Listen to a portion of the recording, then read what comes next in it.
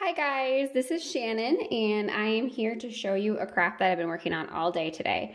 I'm pretty excited about this. Um, I know you know about hot cocoa bombs. They're all the trend right now. They seem to be a big hit with the holidays and I was standing in my pantry this morning and looking at a hot cocoa bomb and I just had a huge epiphany and decided I wanted to paper craft a version of a hot cocoa bomb.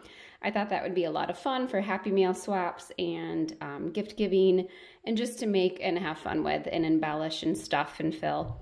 So I spent the day um, with my SVG files to create what I was happy with for my first round of hot cocoa craft bombs. So I'm going to call them crafty bombs. Um, and this is what I came up with. So these are just a, uh, three of the ones I decorated today. So I'll call this one a strawberry chocolate Crafty Bomb. This one I have the chocolate base and a pattern paper that kind of looks like sprinkles on the top. And I did gear these a little more towards Valentine's Day just because that's right around the corner and this is such a fun idea. And then this one I got super creative with and squirted a whole bunch of red paint on top and then set that with my hot air gun and um, stiffen and hardened that acrylic paint. So it kind of looks like the melted candy chocolates that you would find on a real cocoa bomb. So that was a lot of fun to do. And then I went ahead and made a little coffee cup um, and brought my other one down just to stage for fun. This is Paige Evans paper that I used for this cup. And I'll just give you a little quick overview of these super cute crafty bombs. So to start with this one, this was the first one that I made today. Um, I finished with it a little bit to figure out how I wanted to do it. By the time I got to my third one, I was really having a lot of fun.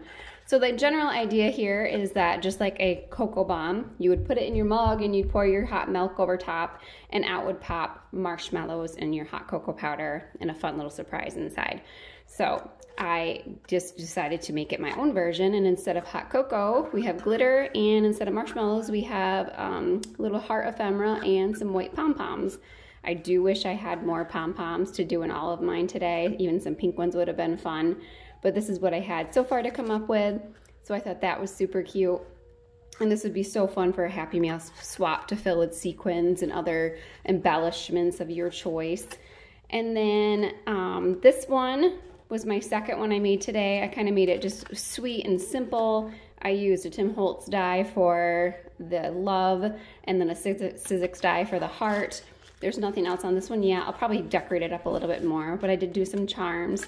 Um, this one doesn't really stay shut any other way, so if you wanted to mail it, it would be kind of tough unless you wanted to give it in a gift with a box. It'd be the best way for this one. But I did want to think of a way where you could kind of just hold these around and not have the top and bottom come apart. So I did thread it with a little bit of ribbon.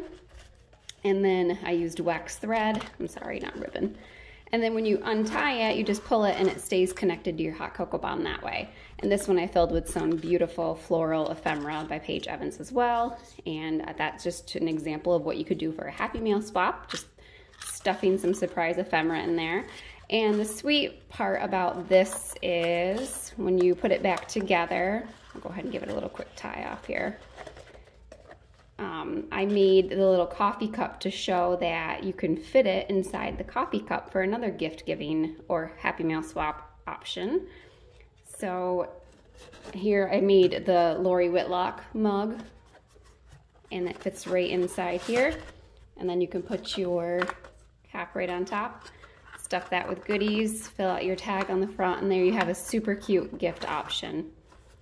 So I think these are so sweet and so fun. I haven't stuffed this one yet. Um, it just finished drying and as you can see, it dried perfectly well. I did start gluing some sequins on for some glitter on there, glittery effect. But this would be a vanilla strawberry cocoa bomb. So I hope you love these as much as I do. I had so much fun making them today. It was a lot of um, tweaking at the beginning, but once I got it down to how I wanted it to be, it went pretty fast and there's only 12 cuts. There's like a six, six pieces for the top and six for the base. I did use, um, and I'll link it, Simply Crafty SVGs has an ice cream cone file, and this is actually the top to the ice cream.